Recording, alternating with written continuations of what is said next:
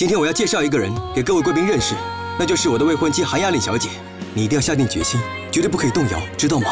你可以对本部长死心了，白康浩是我的男人了。你对白康浩的感情是真心的吗？康浩先生是在我辛苦时待在我身边的人，你去找个好女人，幸福的生活吧。外面传闻的秘密账簿是怎么回事？辛苦养大的狗居然敢咬主人！你这小子竟敢用这种方式背叛我！你这些全部都是打来说要退货的人吗？是你对我们购物网站动手脚对吧？